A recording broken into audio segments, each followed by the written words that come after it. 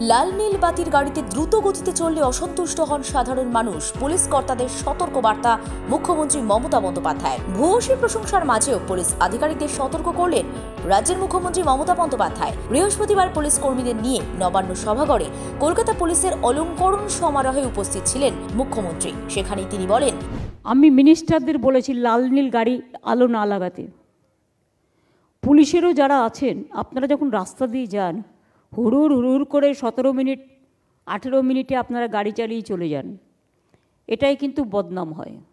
কাজে যারা খুব স্পিডে একটু হাইফাই দেখাবার জন্য খুব স্পিডে গাড়ি চালান মানুষ কিন্তু এটা পছন্দ করে না। এর আগে জেলায় প্রশাসনিক বৈঠকেও প্রশাসনিক আধিকারিকদের পায়ে হেঁটে এলাকা পরিদর্শনের পরামর্শ দেন মুখ্যমন্ত্রী। রাজ্যের সব বিষয়ে মহিলা ক্ষমতায়নে জোর দিয়েছেন এই দিন মমতা বন্দ্যোপাধ্যায়। রাজ্য পুলিশেও মহিলাদের প্রথম সারিতে আরও বেশি করে দেখতে চান বলে জানান তিনি। করছেন তাদের কোনো তুলনা নেই। আমরা চাই মেয়েরাও পুলিশে বেশি করে আসুক ছেলেদের সাথে সাথে।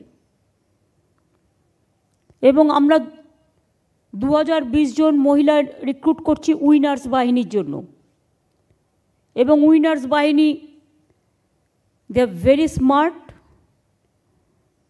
তিন মাসের ট্রেনিংয়ে তারা কাজ করতে পারে, নিশ্চয়ই পারে। যারা ক্যারেটে জানে, সেই জন্য আমি মনে করি আমাদের পুলিশ বাহিনীতে মেয়েরা একটা বড় ভূমিকা নিক। তারা ছেলেদের কাজটা করবে, মেয়েরা সামনে থাকবে, পেছনে ছেলেরা থাকবে।